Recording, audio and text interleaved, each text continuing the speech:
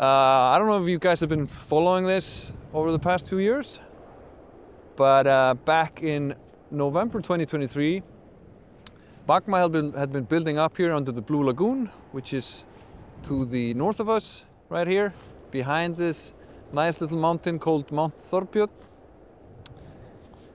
And on the 10th of November 2023, pretty significant magma intrusion broke its way from the chamber and towards the town of Grindavik, south of the magma chamber. It's right over here. And the town was evacuated. A massive sort of fissure or a crevasse opened up through the town. Uh, a lot of earthquakes, a lot of damage to houses, and subsequently the town was more or less evacuated. Then on December 2023, it finally erupted.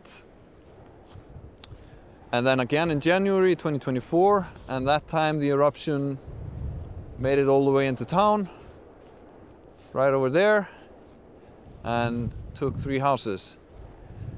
Today, what is going on, or what has happened today, is at 6.30 this morning, a swarm of earthquakes began.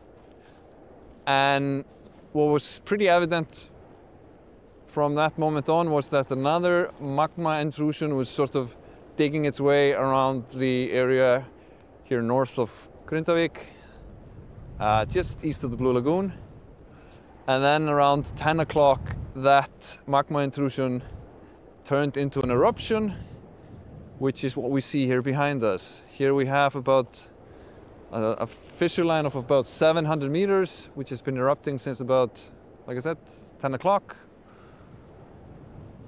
And it is relatively small compared to some of the other eruptions we've had here, uh, even though the magma buildup was the greatest in these series of uh, eruptions so far.